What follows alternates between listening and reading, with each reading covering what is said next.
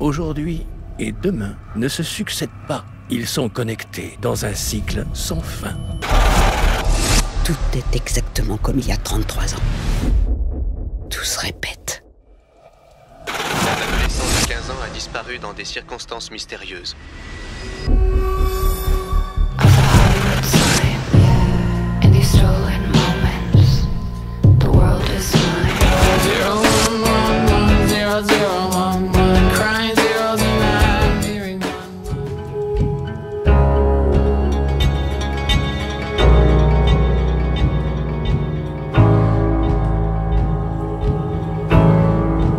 Ville est gangrénée.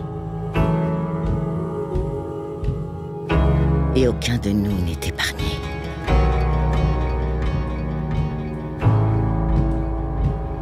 Il y a un assassin parmi nous.